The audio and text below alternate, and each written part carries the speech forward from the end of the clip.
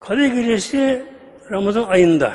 Bu kesin muhtemelen. Ramazan acaba hangi gecesinde Kadir Gecesi? Yani Kadir Gecesi'nin değeri burada bildiriliyor. Ama gece burada bildirilmiyor muhtemelen. Bunun hikmeti var. Hikmeti şu, mesela Cuma günü bir icabet saati var Cuma günü. İcabet saati duanın kabul olduğu vakit demektir. Ama bu gizli bu. Bunun gibi Allah'ın dostu evlullah gizlidir. Böyle çok sırlar vardır. Bunlar gizlidir bunlar. allah Teala bunları tam açıklamıyor. Neden? Kullar belki bu gece kadirdir diye her geceyi yapsınlar, idam etsinler. Her geceyi böyle. Nasıl akşam kadir değil, yat.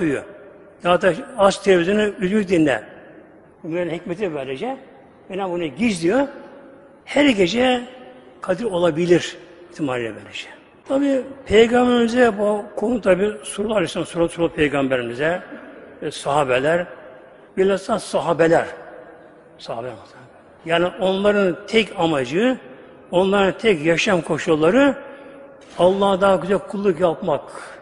Doymuyorlar ama. Cihad onlarda, hicret onlarda. Her varını Allah'ını veriyorlar. Ayakları şiir namaz kılarken o kadar ibadet yapıyorlar. Ama onlar ibadete doymuyorlar. Doyumsuz ibadete böyle. Allah yolunda bir şey yapmak istiyorlar. Tabi sordular Kadir Gecesi'ni. Buyurdu Aleyhisselam Hazretleri teharrev araya yeter kadri bir aşil evahiri min ramazane. Buyurdu Aleyhisselam onlara Ramazan son 10 gününde arayın Kadir Gecesi'ni. Ramazan son 10'unda. Ramazan üçe bölüyor Ramazan. Evveli rahmet, ortası mağfiret diye böylece. Şimdi Ramazan'ın son 10 günündeyiz muhtemelen.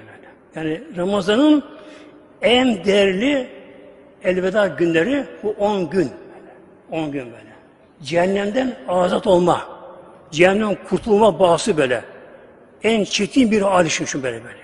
Allah korusun bir insan Ramazan af olmazsa Peygamberi artık sürünsün gitsin bu Ramazan. Ramazan bence. Yani bir insan Ramazan'ı af olamazsa Allah yaklaşamazsa gitti böyle.